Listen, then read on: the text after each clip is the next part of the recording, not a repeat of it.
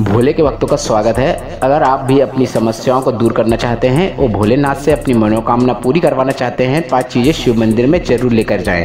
पाँचों चीज़ों की जानकारी गुरुजी पंडित प्रदीप मिश्रा जी ने अपनी कथाओं में दी है।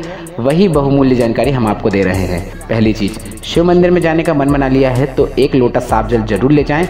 सिर्फ़ एक लोटा जल रोज़ाना अर्पित कर देने से भोलेनाथ आपकी सभी प्रकार की समस्याओं को दूर कर देते हैं और उनका अंत कर देते हैं। दूसरी चीज़, अगर पैसों की कमी है और नौकरी भी नहीं है, ना ही बिज़नेस अच्छा चल रहा है तो एक लोटा जल में एक कमल पुष्प या फिर एक कमल गट्टे को डालकर निकाल लें और उस कमल गट्टे को निकालने के बाद उस जल को शिवलिंग पे अर्पित कर दें।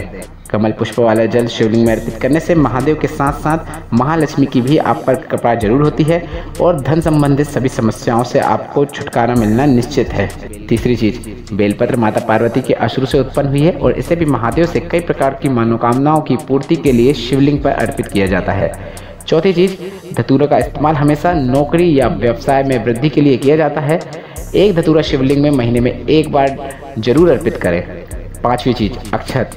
एक चावल का दाना शिवलिंग पर अर्पित करके आप अपनी मनोकामना बोल दें तो उस मनोकामना को महादेव ज़रूर पूरा करते हैं। बस अक्षत पूर्ण होना चाहिए और आपके द्वारा महादेव की पूजा अर्चना पूरे विश्वास और श्रद्धा के साथ होना चाहिए।